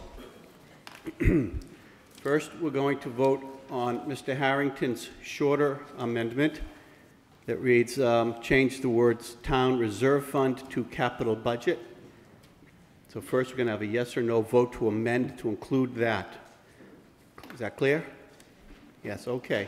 So as soon as you're ready, go ahead and vote. One, yes to amend. Two, no, you do not want to amend it. One to amend, two, no, you don't.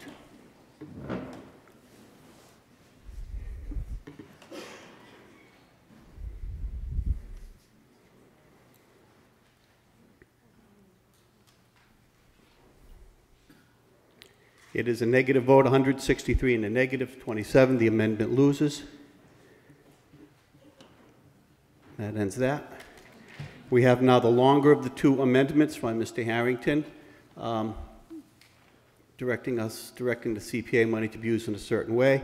As soon as we're ready, we'll vote one, yes, you want to amend and add that to the recommended vote. Two, no, you do not. Go ahead and vote. One, yes, two, no.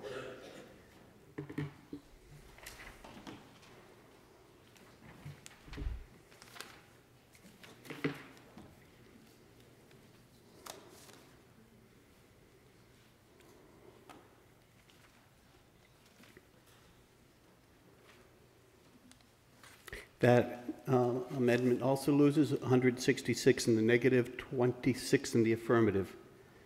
So that does not prevail either. So now we have before us the recommended vote of the Finance Committee as presented without amendment. So we're going to vote for that. One yes, two no. And go ahead and vote. One yes, two no.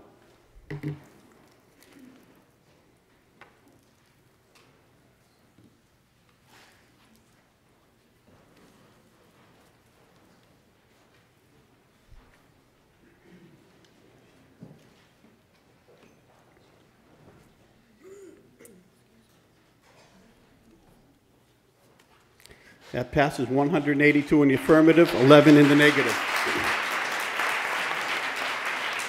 It's an affirmative vote, and I so declare it. That ends Article 4. We have now before us Article 5, collective bargaining. Mr. Tosti, do you wish to speak to this?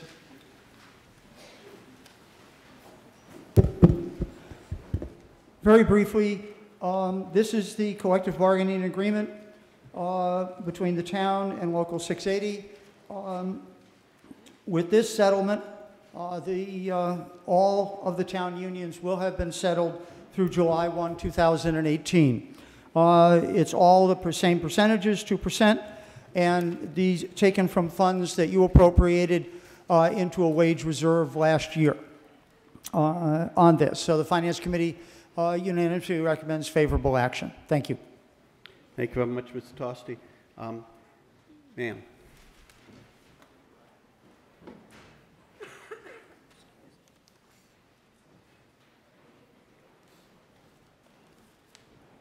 Good evening. Linda Hanson, Precinct 7. I'm also the president of the Arlington Education Association. I rise to say that, yes, I will be voting to ratify this collective bargaining agreement this evening. But I'm also here um, at the front of the room to talk to you, uh, to just raise the question about the direction the town is taking in terms of contracting out the custodial jobs that belong to this union, um, that come under this contract, and transferring formerly union jobs to private contractors. Maybe you saw some sign holders out there this evening.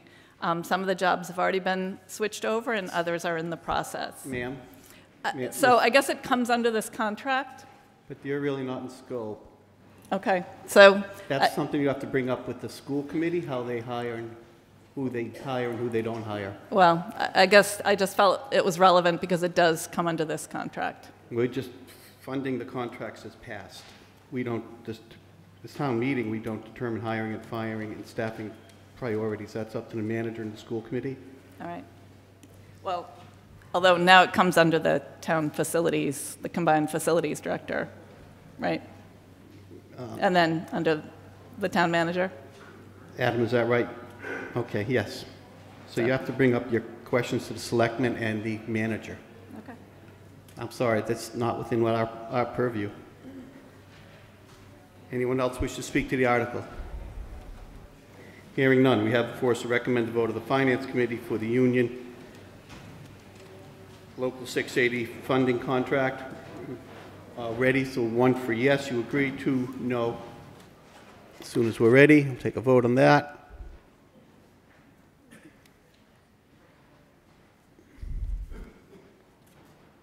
And go ahead and vote. One, yes, two, no. If you're in favor, one. If you're not, two, no.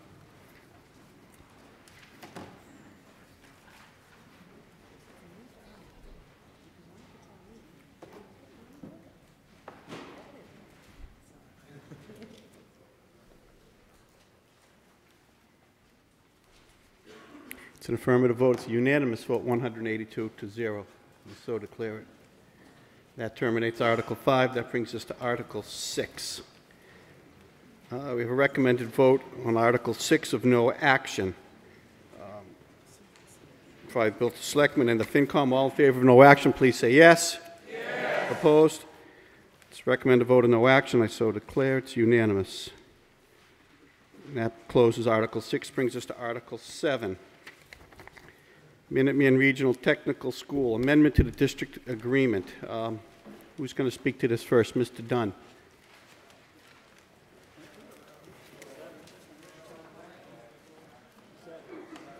Seven. Oh, seven's a no action too, I'm sorry. Seven is no action, but uh, just a sentence, Okay. Mr. Moderator. Article 7, no action. All in favor of no action, please say yes. Yes. Opposed? It is recommended to vote of no action, and so I so declare it.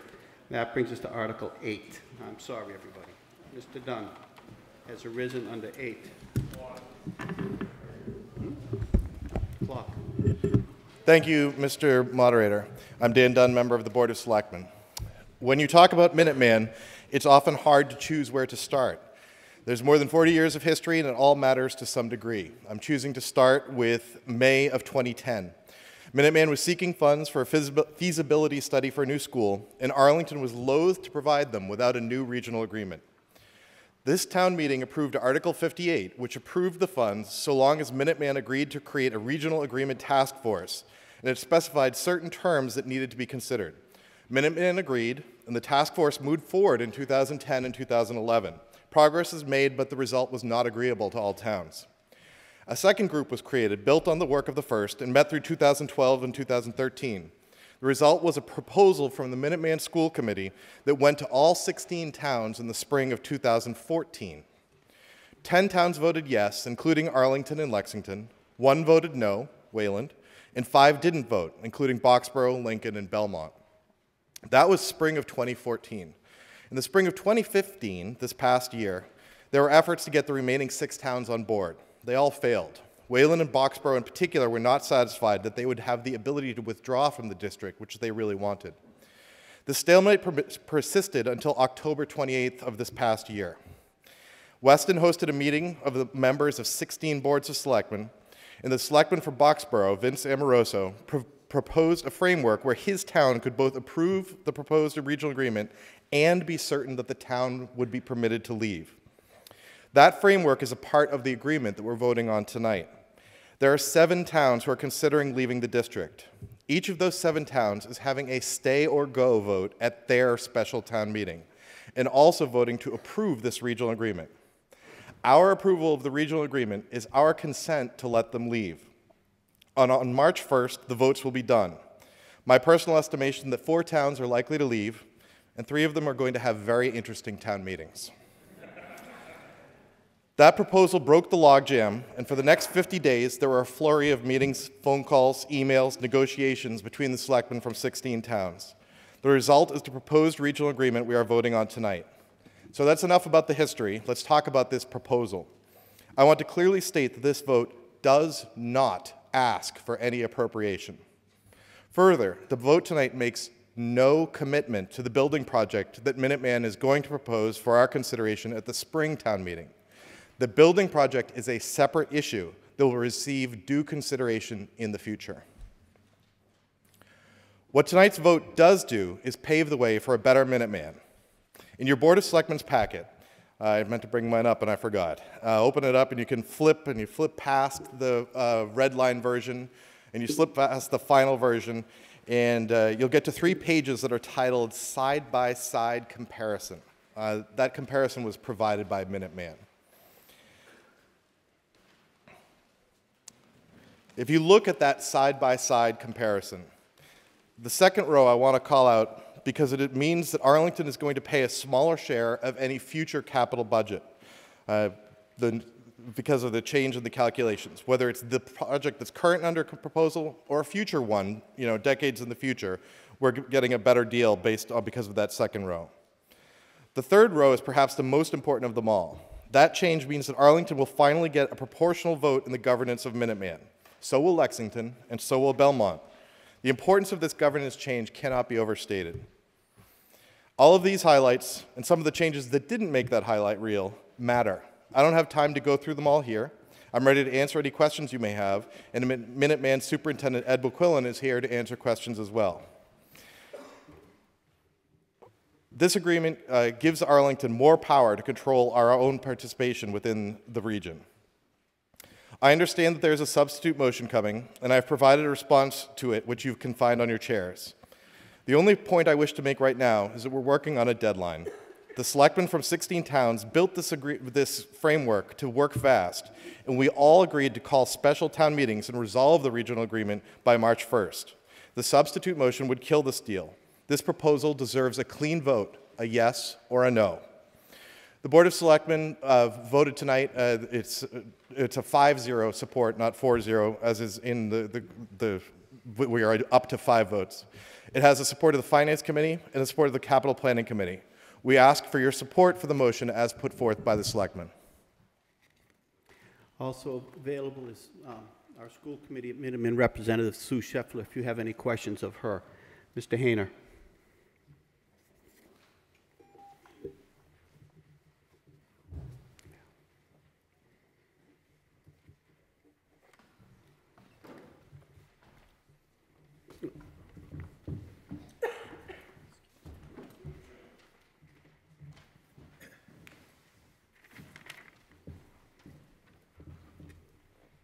Mr. Mr. Moderator, Bill Hayner, Precinct 2. The purpose of this motion is to establish a committee that will provide town meeting with critical financial and budgetary information to make an informed decision. It would be expected that the proposed committee would determine answers to some of the following questions. What is the number of in-district students that would make Minuteman Tech financially solvent? What is the average cost of an in-district tuition and out-of-district tuition under the current agreement compared to under the proposed agreement? What, if anything, will the new district agreement do to reduce the current over reliance on out of district students? Has a five year projection been done on what the tuition costs will be in the new agreement goes into effect? If not, why? As stated in the December 2015 meeting of the Finance Committee, it is currently estimated that Arlington's share of the Minuteman rebuild is approximately $2 million annually. I'm not opposed to this agreement. Support this and adjourn the meeting to a date prior to March 1st and then decide on a motion and added information. one other minor thing. I've not made a lot of friends in doing this, okay? I need to also let you know, this is my wife's birthday, and this is how we're spending it. Thank you. Thank you, Mr. Hayner. Do I have a second for Mr. Hayner's motion? Seconded, okay. Um, Mr. Schlichtman?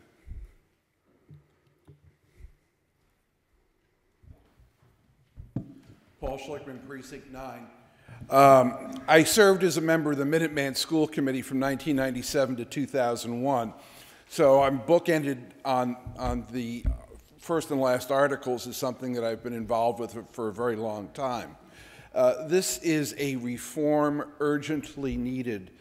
Uh, the, the, the one thing I have to say is that the selectmen of the 16 towns really worked hard on this. And I know that uh, Mr. Dunn has been working tirelessly for more hours than he could count, uh, working with other towns to come up with a resolution of this. And I think this town owes a debt of gratitude to the work that Mr. Dunn has done with the uh, remaining selectmen of the other 16 towns over the past few months.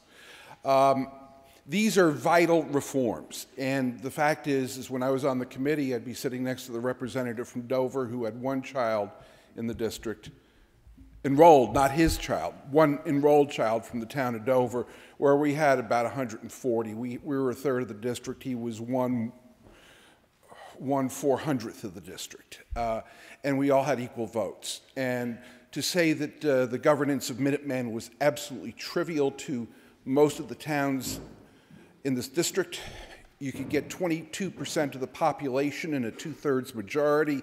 The governance was severely broken.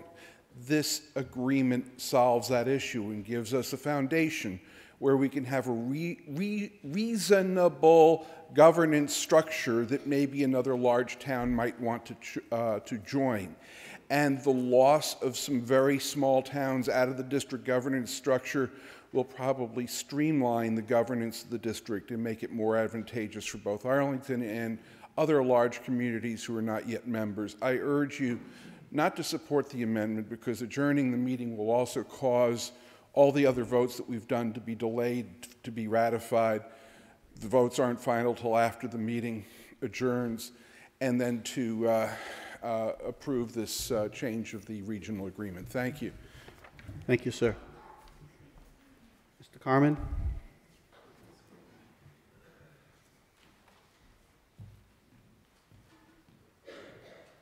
Thank you, Mr. Moderator. Dean Carman, Precinct 20, and a member of the Finance Committee. Fellow town meeting members. So I was doing a calculation. Tonight marks the seventh year I've stood in this spot and talked about this topic. Okay? So I have to voice a little bit of frustration when I'm told that after seven years of discussing this, without changing almost a sentence, that we now need a study committee. So, quick recap for anybody who hasn't been here the whole seven years.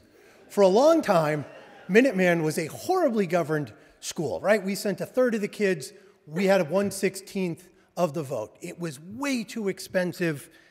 I mean, it was horrible management. It was just, it was a mess. But we couldn't do anything. And why couldn't we do anything? Because you needed 10 out of 16 towns to pass the budget. And the old administration of Minuteman would start in the order. Those who have to pay, pay the least vote first. And then they'd come here and say, hey, guess what? Do whatever you want. We have the votes. Basically, go screw. Okay? So that went on for a while. And my, and my former finance committee colleague, Mr. Dan Dunn, used to stand up here when they would say that and say, that's fine. But eventually they're going to want a new building. And when they want a new building, we are going to fight them to the death because they can't get past us at that point. And so, in 2010, they came before the town meeting with Article 58, request for a feasibility study. And this town meeting agreed to that feasibility study with Arlington's demands. And the demands were simple. You will stabilize enrollment. You will reform the spending in that school. And you will give us a regional agreement where we're not sending a third of the kids, paying a third of the cost, but only have 116th of the vote. You will actually treat Arlington with respect. And so we were lucky at that moment, right? Because the bad management of Minuteman walked out the door, and the good management of Minuteman, which now is in this in the chair, led by Dr. Bouquillon, took came came on. And Dr. Bouquillon stabilized enrollment he got the, the school in a better financial position. He brought down the per pupil spending. But he didn't fix the regional agreement, right? Because what happened was, just sort of rolling forward again, in 2014, we, as Dan said, we put before you a draft regional agreement. And we said, look, you know, and we said, we want you to pass this. I think I, I stood here at the time and told you it's not going to get through all 16 schools, but we need to move the goal line and we need to figure out who the people are that aren't going to be with us. And so we took that vote. You, you as a town meeting affirmatively voted for that. And let me just check my notes for one second. I'll tell you exactly which vote it was. It was Article 21 of the 2014 town meeting. So you took that vote, okay? And so we talked about it some more. And we talked about it some more. And then last year we had a building, we had building recommendations that came before you. And if you look at last year's Minuteman vote, which was on all of your sheets, there's a slide called the building project. And it goes on and on for one, two, three, four, five, six slides explaining the building. It talks about the five options we can have. It talks about how if we get this done by next year, we get 40% reimbursement. And if we don't, our reimbursement rate will lapse and it will go to 31%. But we also said at that time that we had a problem. And our problem, again, even with the deadline of June 30, 2016, to keep MSB reimbursement at 40%, is we didn't have a new regional agreement because, as Dan said, the 2014 agreement failed in five communities. So the whole, the whole circle, it, all came full circle, right? Because up until 2011, when Dan came onto the Board of Selectmen, he used to stand here and give the Finance Committee's opposition to Minuteman. Then that became my task for several years, but now we had to punch it over the goal line. And so Dan went back to Minuteman and he said, okay, I'm going to broker this deal. I have the weight of the school committee. I have the weight of the finance committee. We've gotten affirmative town meeting votes. We have everything lined up. You guys are going to play ball with Arlington. You're going to work on this, or we're not going with the school. And so we bust our hump. It was in the newspaper. It was on local cable access. Everybody knew this was going on. And we finally got we finally got a regional agreement that works, that has everything from 2014 with little a few changes. Okay? And so we bring it back to this town meetings, right? So now we're in the seventh year doing this. We have 10 or 11 articles we've put before you. And lo and behold, we need a study committee. A study committee? For, for what? If, if there was a problem with this article, if there was a problem with this article, the time to say something was anywhere between seven years ago and about a month ago. That was the time to talk about it. The time to talk about it is not tonight. It is not from now to March 1st.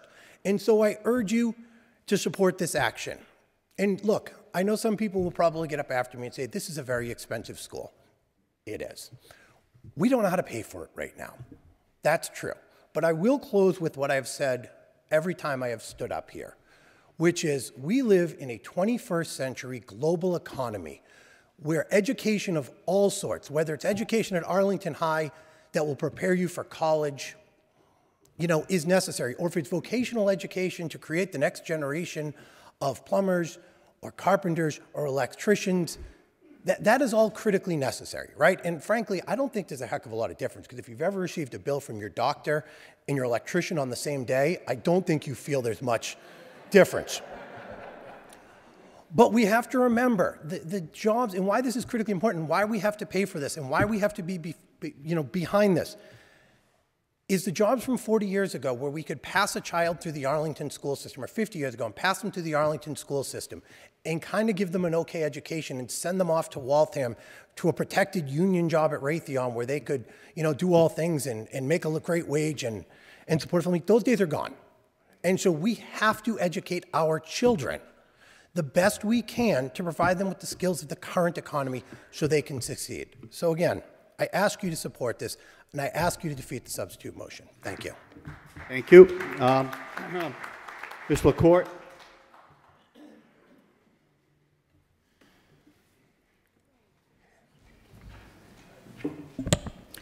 Annie LaCourt, Precinct 15. Move the question on all matters before us. Okay, we have a motion to terminate debate on all matters before us. Um, all in favor of terminating debate will press one when we get the green light. If you don't want to terminate debate, you'll press two. It was seconded.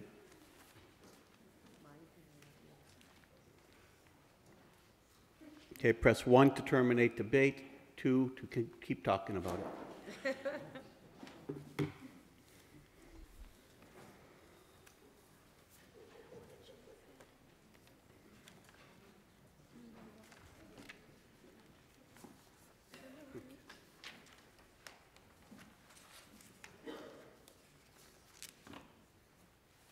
Debate is terminated, 168 in affirmative, 17 in the negative. Um, That terminates the debate on Article 8. We have now before us the recommended, excuse me, Mr. Hayner's substitute motion, which would supplant the recommended vote of the Board of Selectmen. So all in favor of Mr. Hayner's substitute motion, please vote yes by pressing 1, vote no by pressing 2.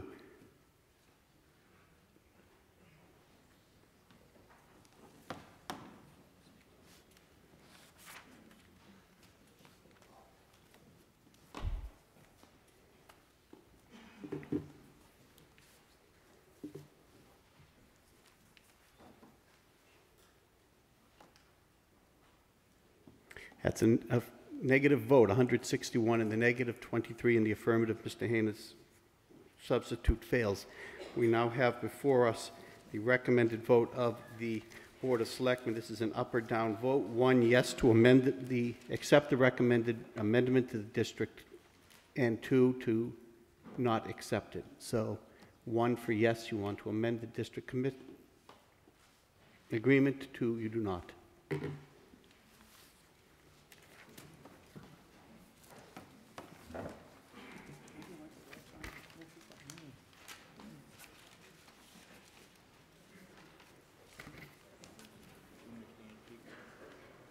It's an affirmative vote, 178 in the affirmative, 5 in the negative. Arlington has voted to amend the Minuteman School District. Mr. Tosti.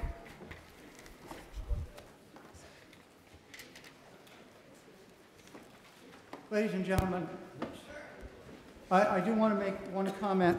Uh, th- There's been a lot of people that worked on that last article. Uh, Charlie Foskett did yeoman's work uh, in getting this put together and getting to, to the uh, sort of 10 to 6. And Dan Dunn has worked countless hours. Dan, do you still have a job? Okay, yeah, he still has his job, but he almost lost it with that, and I'd like to thank him very much.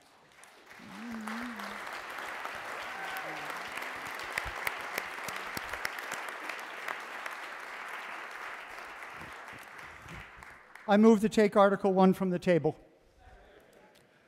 All in favor? Article 1 is on the tape, off the table. I move that the, this town meeting be dissolved. All in favor of dissolving the special town meeting of January 2016, please say yes. All opposed? Town meeting is dissolved. Please return your clickers. This is our only night. If you bring it home, we're in big trouble. There's bins on every single door. Please return your clickers.